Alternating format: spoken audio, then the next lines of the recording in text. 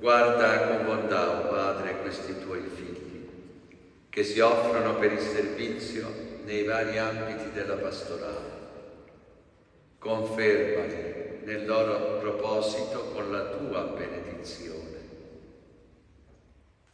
nella maestosa cornice della cattedrale di San Pantaleone Martire a Vallo della Lucania, un'atmosfera di profonda emozione ha accompagnato la celebrazione speciale per catechisti, professori di religione e missionari, chiamati a rinnovare la loro vocazione e a ricevere un segno tangibile della missione che portano nel cuore. La cerimonia presieduta da Don Giovanni in sostituzione del vescovo, assente per motivi di salute, ha visto la partecipazione di numerosi sacerdoti della diocesi, venuti per testimoniare testimoniare con la loro presenza la vicinanza e l'unità del clero. A rendere ancora più serenne l'evento è stato il coro della diocesi diretto dal maestro Maurizio Iacovazzo, le cui voci hanno risuonato con intensità, elevando i cuori in un canto di speranza e fede.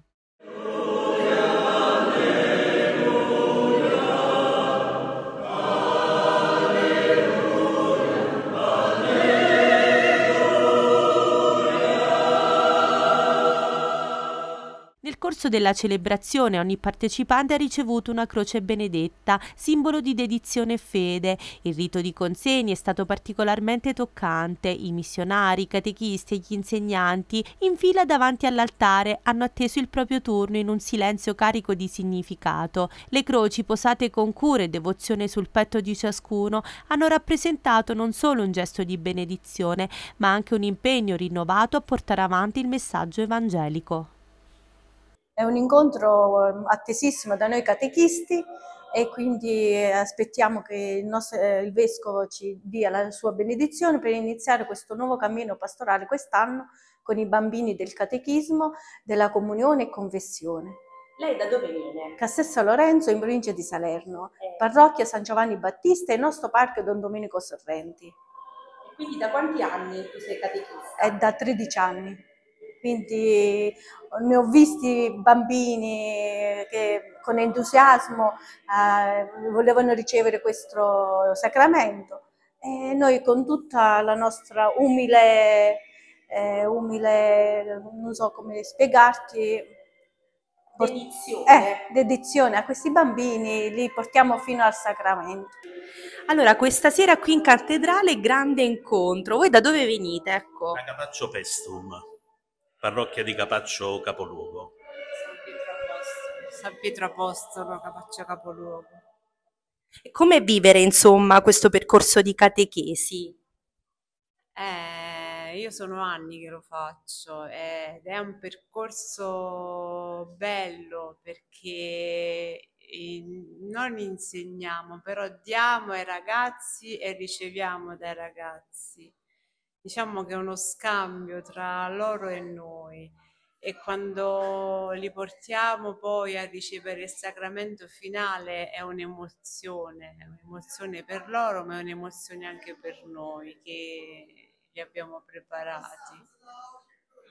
Cioè, lei è anche un docente ecco, di, di, religione, oltre ad essere un catechista, e quindi il suo percorso di vita e professionale, um, ecco, con me e da un punto di vista introspettivo? Allora, io cerco sempre di seguire i miei ragazzi anche al di fuori della scuola, perché poi molti di questi me li ritrovo anche nei percorsi di catechesi ed è qualcosa di molto entusiasmante ed interessante, perché poi c'è una risposta positiva da parte dei ragazzi che ti gratifica molto. Io sono qui eh, come insegnante di religione e anche come catechista.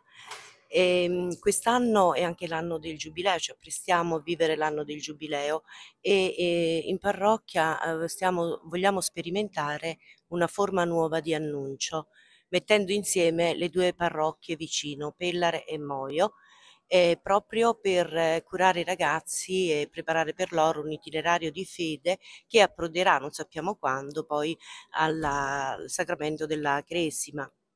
E per il resto ci stiamo attrezzando, no?